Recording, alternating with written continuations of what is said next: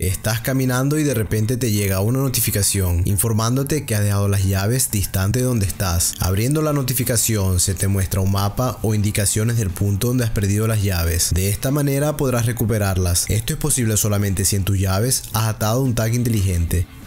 Bienvenidos a un nuevo video que entenderán utilizando pocas neuronas. El tag inteligente es un dispositivo de seguimiento que utiliza tecnología inalámbricas como Bluetooth de baja energía y NFC, además de disponer de una bocina para localizarlo una vez te encuentres cerca. Los modelos más recientes incluyen también la tecnología Ultra Wideband, tecnología similar a la del Bluetooth pero de precisión milimétrica. El Bluetooth de baja energía es una tecnología de baja potencia que cada dos segundos envía mensajes encriptados a cualquier teléfono cercano, los cuales automáticamente envían la localización a los servidores del fabricante, ya sea Samsung o cualquier otra empresa.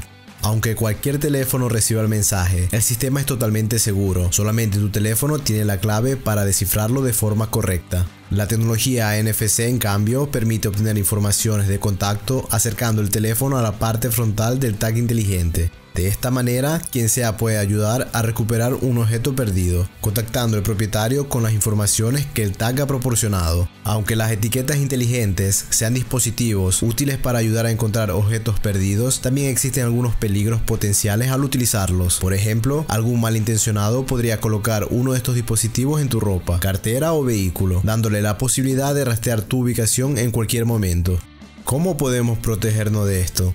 En los teléfonos Apple, desde la versión 14.5 de iOS, recibirás una notificación de aviso si se detecta un dispositivo desconocido, e incluso este último reproducirá un sonido desde la bocina. Sin embargo, no necesariamente sucederá si te encuentras en un transporte público con otras personas. Las alertas solo funcionan cuando el dispositivo se separa de su propietario. Lo ideal es que se te notifique al rato, pero actualmente recibirás notificación después de tres días. No dudo que en futuro esto se podrá personalizar. Por otro lado, en los dispositivos de Samsung, este proceso no es automático. Es posible hacerlo desde la aplicación SmartThings. Sin embargo, la información obtenida se refiere a cualquier etiqueta cercana, razón por la que tendrás que verificar tú mismo si no hay alguna sospechosa, pero la información será inmediata.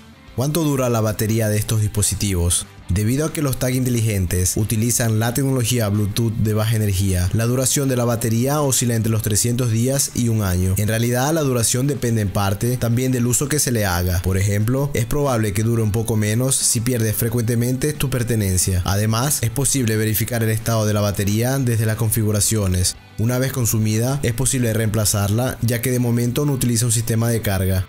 Se trata aún de una tecnología joven y existen más fabricantes, no necesariamente fabricantes de teléfonos, que ofrecen diferentes soluciones. Solamente te toca escoger el que encaja más con tus necesidades y compatibilidad de tu sistema operativo. Te agradezco por haber visto el video. Si deseas apoyarme, puedes hacerlo comentando, compartiendo y si deseas ir más allá, puedes afiliarte a mi página en Patreon. En la descripción puedes encontrar el enlace. En la pantalla dejo otro video para que te sigas entreteniendo con mis animaciones.